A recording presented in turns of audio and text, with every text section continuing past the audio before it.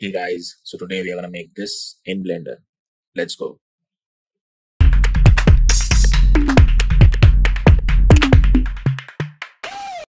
Okay, so let's go ahead and get into a new scene. We'll delete the basics. Press Shift A and add an icosphere. Add a couple of subdivisions.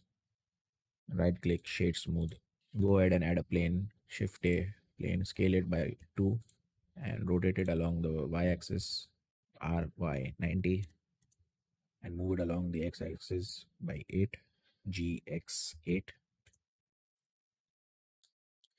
the next thing we'll do is we'll add a camera press shift a camera. Now hit the tilde key go into the front view and press ctrl alt 0 to snap our camera into the view now go ahead into the output properties and change the resolution to around 2000 pixels. Now before we hop into our main shader, we need to do two things. We need to enable our node wrangler add-on and we need to enable our displacement. So first go into edit preferences, add-ons and type in node wrangler and enable it. The next we need to hop in into our render properties and switch from Eevee to cycles. We'll go ahead and resample our viewport count and then let's hop in into our shaders panel. Here select the object and hit new. We'll give this a name.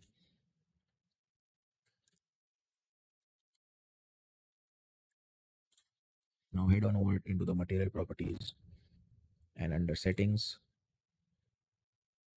select displacement and bump. Okay so we are all set up. We'll head on into our camera view. The first thing we need to add is a noise texture.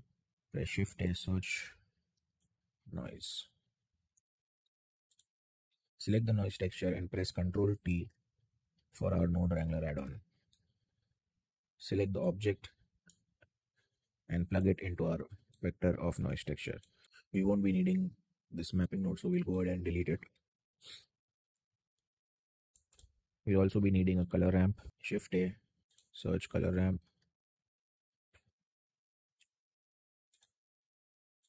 Color into the base color. To preview this, press Control Shift and click. And in our viewport, press the Z key and head on into our material preview. So this is what our noise texture looks like right now. The next thing we will do is add some colors to our rock. Before we do that, we need to duplicate this node for our roughness. So press Ctrl Shift D and plug it into the roughness. We'll take the white slider to around 0.55. We'll add these colors to our color ramp that goes into the base color go in and adjust it. Let's add some detail. The next thing we need to do is add some bump. Go ahead and press shift a search. Bump. Plug the factor into the height and the normal into the normal. We'll go ahead and duplicate this bump by pressing shift D and we'll get a Voronoi texture. Shift A search. Voronoi. And we'll also get a color ramp plug the distance into the factor, color into the height, and adjust the white values to around 0.35 and plug the normal into the normal socket. To preview this, let's go ahead and control shift click on the color ramp, press Z and go into the material preview. Let's adjust the scale to around 10 We'll also be needing a texture coordinate as well. So shift D to duplicate and plug the object into the vector. Now we need to break this Voronoi texture since it is so uniform.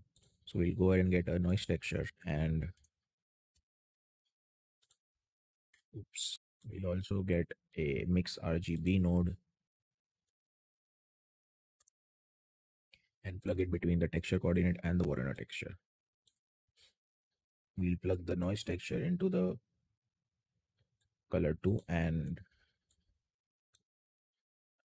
we'll set the mode to mix we need to set our values to around 0.95 let's get the noise scale to around 10 detail to around 16 and get some distortion going. This bump feeds into this bump let's go ahead and preview what it looks like. Let's go ahead and frame this by selecting all the nodes and press ctrl j. Hit the n key. Under node let's label this as rock. We can also give it a color if we need to now this is basically our rock texture. So now that our rock texture is ready we need to add a glow texture. So for that we'll be needing a new principled bsdf so press shift a search principled bsdf we'll go ahead and add a noise texture. Change the scales to 10 and go ahead and add some distortion we'll also add a color ramp.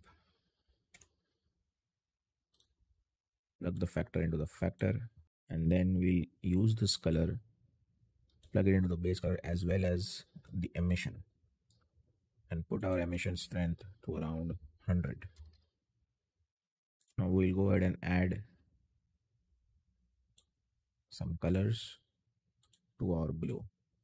You can copy these hex codes for the glow texture we'll go ahead and adjust the values a bit. And let's go ahead and preview what it looks like. Still too dark. The next thing we need is to add a bump node.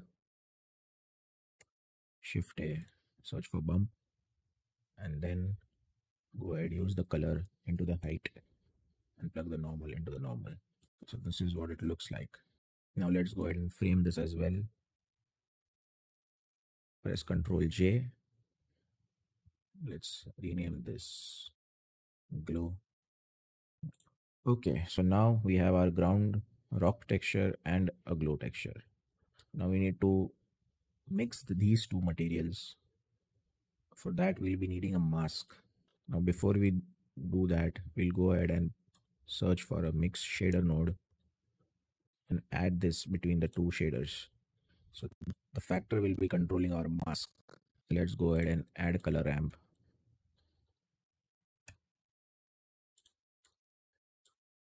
As well as a noise.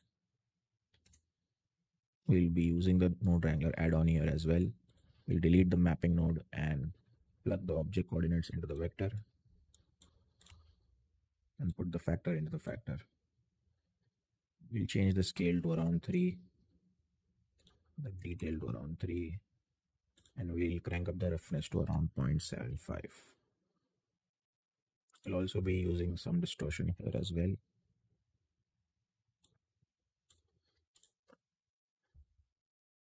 So we need to flip this color ramp and then let's go ahead put a value of 6.5 and then 6.2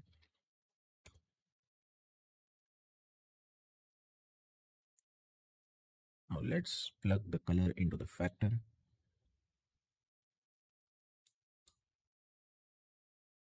And we'll plug the principled BSDF into the shader node.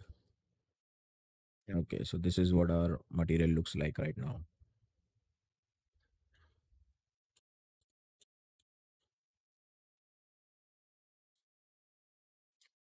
Okay so basically this is what's happening. We have a rock texture and we have a glow texture and we have a mask node set up here that controls where the glow is being seen. So you go ahead and frame this label this as mask.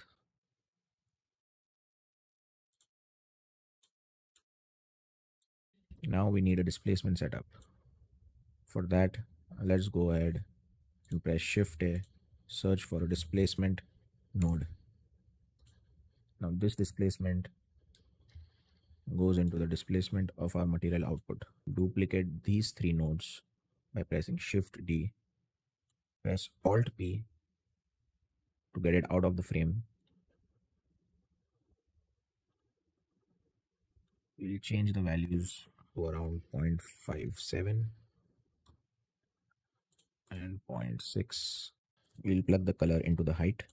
Let's go ahead and preview our node